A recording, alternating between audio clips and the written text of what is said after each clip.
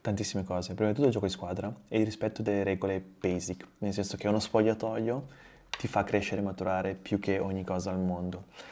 Io ritengo che nel business sia come nello sport. È vero che tu nel business combatti contro te stesso, quindi non hai una gara contro un avversario, l'avversario sei tu stesso, come lo vedo in VPN.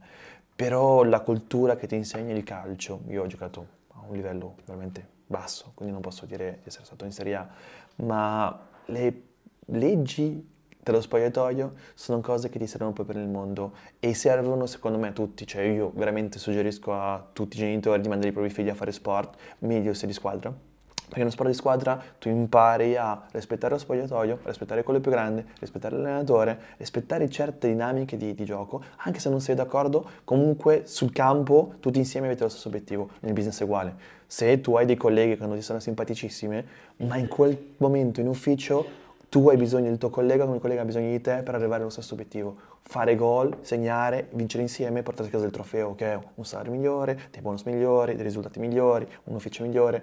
Quindi il calcio secondo me a me personalmente ha insegnato molto e molto spesso lo vedo che in alcuni dei collaboratori che ho avuto in passato è mancata questa cosa. Tanti individualisti che giocavano a tennis ma non erano bravi a giocare a calcio.